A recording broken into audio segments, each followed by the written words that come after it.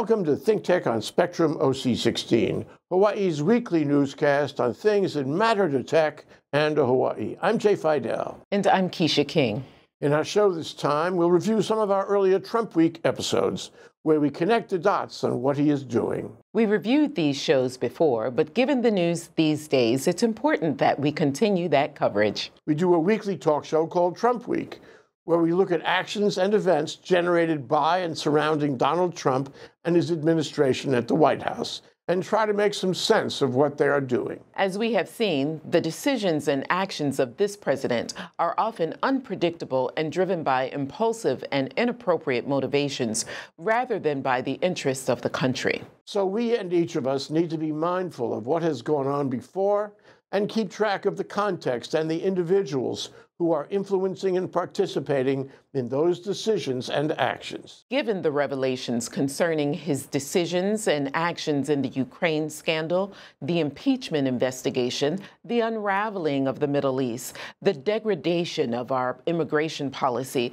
and the economic disruptions of the trade war against China, we all need to follow what is going on in the White House. Given the court packing, the litigation of so many unprecedented issues now in the pipeline to the Supreme Court, the expanding crisis in the balance of power between the branches of government, the regular attacks against our constitutional rights, including voter rights and freedom of the press, we all need to follow what is going on in the White House. Given the failure of our foreign policy, the decline of our critical diplomatic relationships, the emergence of despots in so many places, the violence and disorder around the world, and the obvious, looming, and terrifying prospects of global climate change, we all need to follow what is going on in the White House. In Trump Week, we try to examine what the president is doing and what effect it is having and likely to have on this country and the world. So here's a few clips from our Trump Week series. There are, of course, many more. If you want to see these shows in their entirety, check out thinktechhawaii.com or our Trump Week playlist on youtube.com slash thinktechhawaii. The president is not above the law. There is no good reason whatsoever uh, to exempt him from this process or from criminal investigation. Trump saying, well, you know, I can't be a, a, a indicted because I'm a sitting president. Well, that's never been a Supreme Court ruling. It was an opinion in the DOJ. Um, so the judge took issue to that. And, and, you know, here we have the president and the White House saying, well, not only are we not uh, subject to indictment, but also now we're not subject to impeachment. And, you know, the judge took issue with this. Yeah. So what are you? I mean, basically, you have self-declared yourself king of, of the United that's States. That's where he's been going. And if you connect the dots with our little show over here, Trump Week, that's what you find. And, and the really troubling thing is that people seem to accept this. It, it has a ring about it. It has a familiarity about it. He wants to be king. He wants to be a dictator. He doesn't want to be troubled by the Constitution. I think we're in a constitutional crisis because he's going to keep on doing that. Which takes me to one sidebar point, mm-hmm. and I've been trying to figure it out. I've been talking to people trying to get their, you know, their thoughts on why does the base support this craziness? Doesn't the base know this is this is a stress and strain and a breach of, of the United States Constitution of everything this country stands for? Why do they support him? Support him, give him money. You know, he's got almost a billion dollars in the till and it increased every time he gets to you know he does one of these really wild things he gets more money. Why do they support him? You have a theory. I have theories only. Um, this theory may be similar to richard nixon when he was being impeached. Uh, they were going through the, the process and he maintained a strong 38% well it's not strong but he maintained 38% why wasn't those numbers lower? Um, donald trump has a cult of personality. And you know, I'm getting to the point where I'm going to start saying the cult of personality is similar to Jim Jones. I mean, yes. if, if, if he says drink the Kool-Aid, boys and girls, um, do as I say, I, am not sure that they wouldn't do it. Oh, I agree with you. you shoot know, somebody is, on Fifth Avenue and get away with it. Yeah. You know, these are you know these are extreme things for me to have to say. But at this point, uh, there's a certain percentage of this country they know that he's you know he's trying to basically break the Constitution. He's trying to be above the rule of law, and they don't care. Now, your question is why? Well, I think they just like him. They like the cult of personality. I think that Donald Trump appeals to their inner, if you will, racist uh, tendencies. Um, he's trying to make America great again. Well, what does that mean? You know, nostalgia for nostalgia for no rights for, for women, no rights for you know gay, lesbian, uh, no rights for you know minorities. Um, you know, tight immigration. Uh, I don't mind these tight immigration issues, but this is not the best and the best that America can do. Remember the old adage: when you're in a hole, stop digging. So, what is he doing to further dig in the hole? Um, he's saying that no one's going to show up without the state, the state attorneys, uh, the State Department attorneys. That's a form of witness intimidation. Um, he's going to start refusing these subpoenas. Um, these are things that he's refusing. You know, Adam Schiff now has has warned him that these kind of uh, um, to ignore subpoenas and or documents will be will constitute, as did with Richard Nixon, um, articles of um, impeachment, impeachment, for that office. For obstruction, for obstruction yeah, for the impeachment. He's obstructing this investigation, and he's a critical principal witness to it, yeah. if not a party to it. So you know what's interesting is that uh, in the bottom of the, the, of Congress of the Capitol building there is a jail, you know, and theoretically they have the power to jail people who are in contempt. They haven't done it not in a long time. But, right.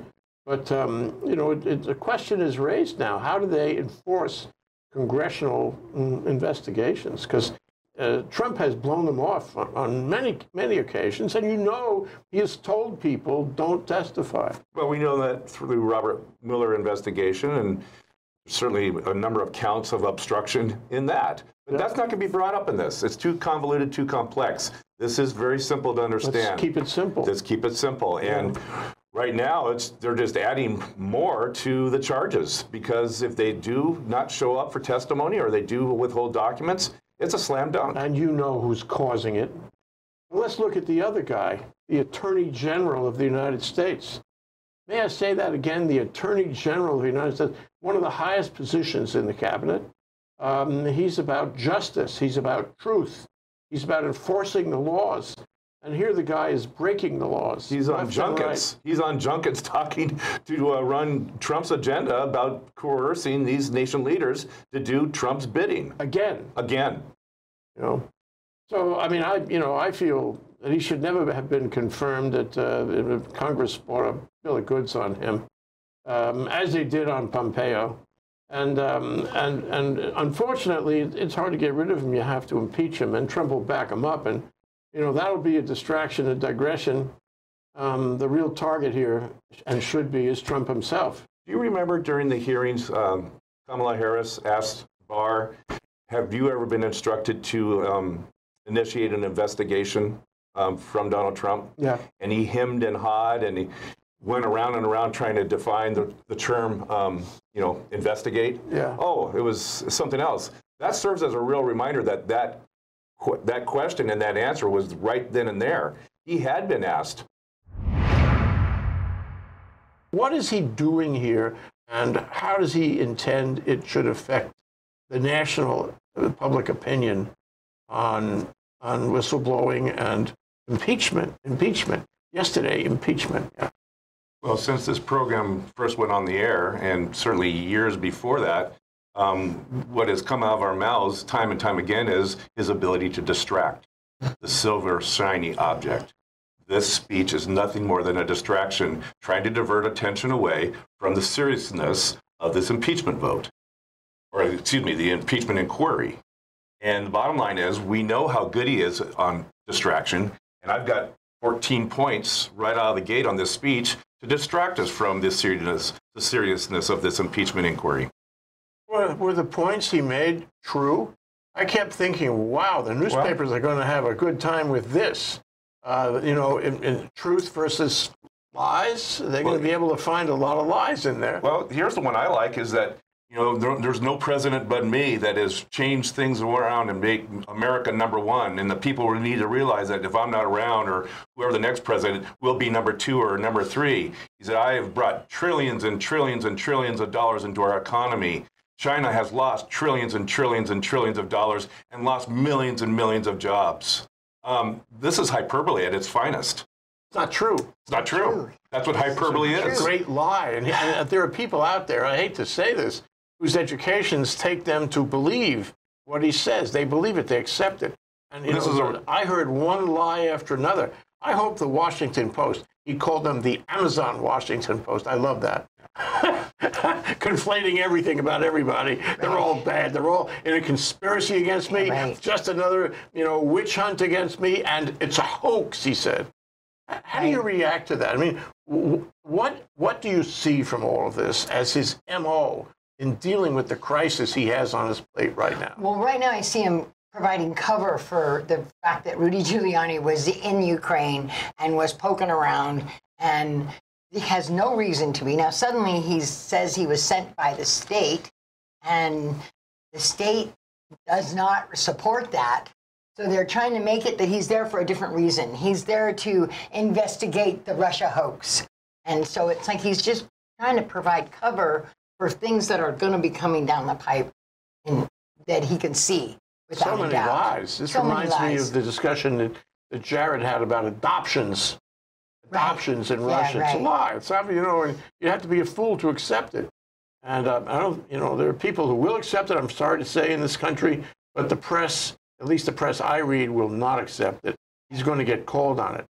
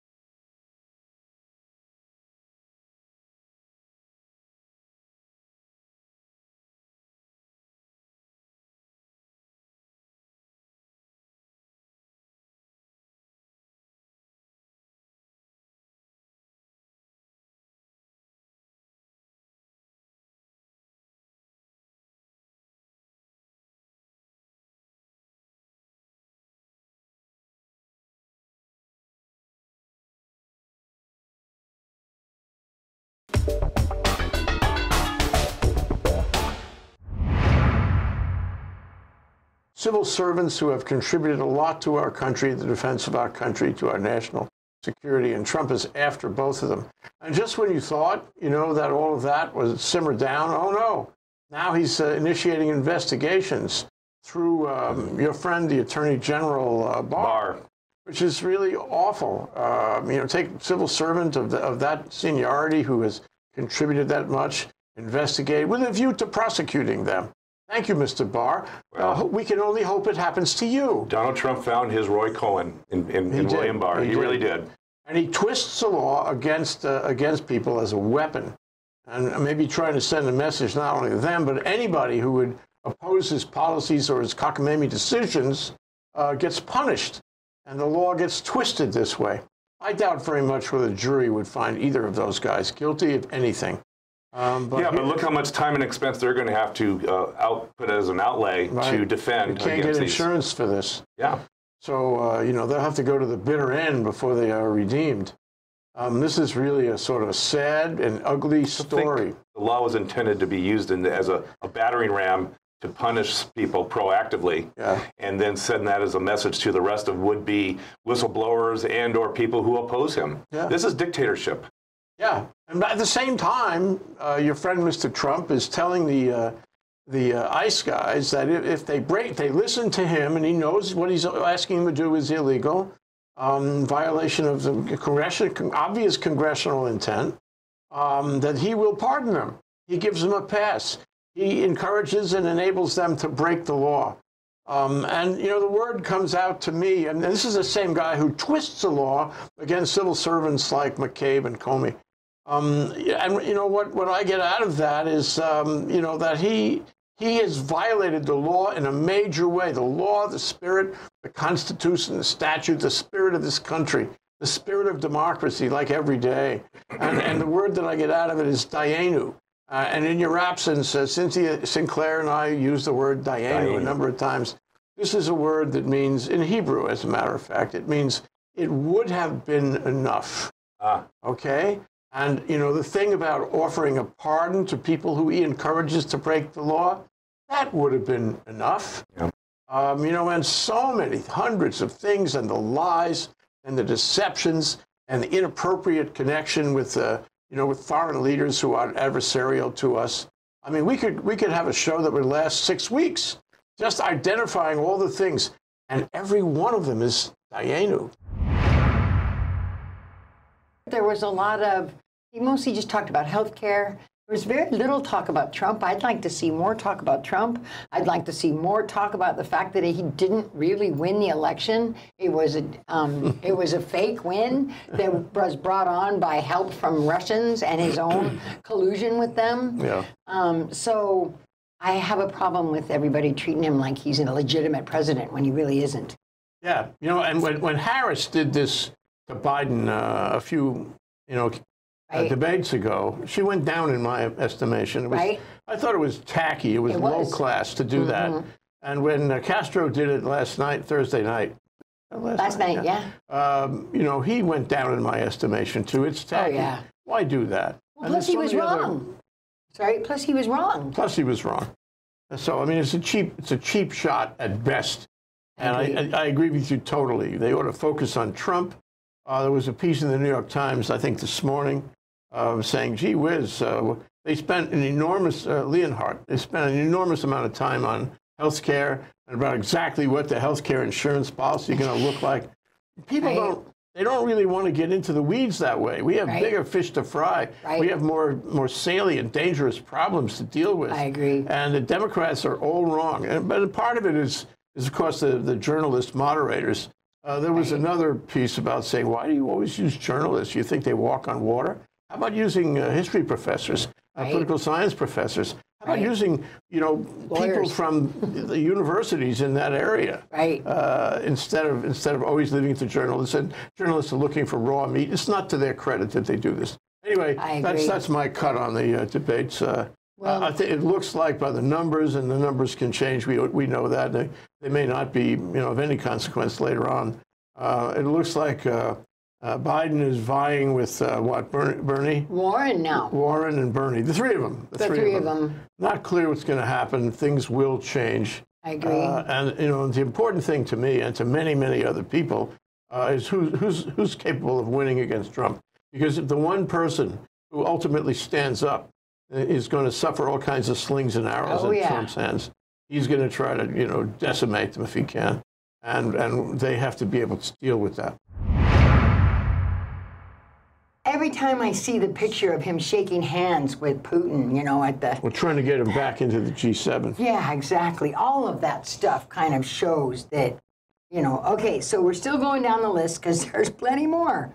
Um, and all you have to do is read the Mueller report to know that Russian interference happened and that he cooperated and that he tried to obstruct justice in the process so that nobody would find out.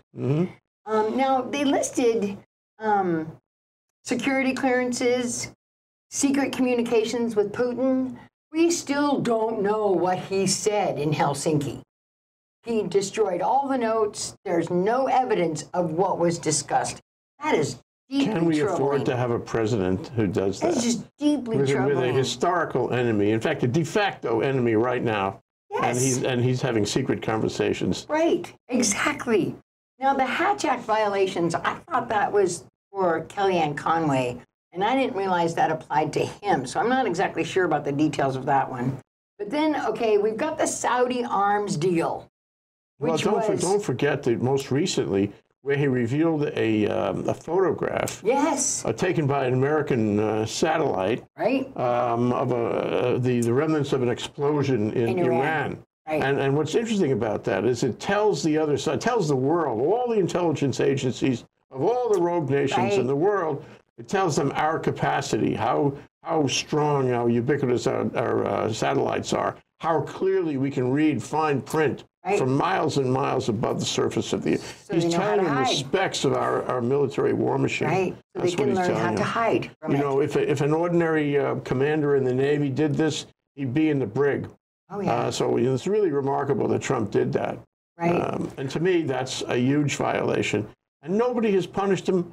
Uh, they've called it to our you know, collective attention, but nobody has punished him, and nobody will punish him unless there's some kind of impeachment process. I agree. Well, we are in an impeachment inquiry. Um, you know, Representative Nadler told us that he is officially in impeachment inquiry, and all these investigations come under that, right? And there's another thing um, when you think about giving up our secrets, he did the same thing with those Russians. The important thing is not to limit our attention to specific news events or name calling, however shocking or theatrical they may be, but to consider the collective and cumulative effect these things have on our lives and on the lives of our children. We need to examine actions and non actions that do or will affect our lives together, including those that deride the press, deny the truth, divide and evoke hatred and racism, abandon the disadvantaged, undermine the rights of women, promote murderous weapons, and ignore the rule of law, the Constitution, and moral and ethical norms. We must include these issues and threats to our democracy in the public conversation, not just to thrill or threaten people, but to enable voters and officials to develop sound and courageous opinions and thoughtful policies, to make the right decisions, and of course, to protect, defend, and save our republic.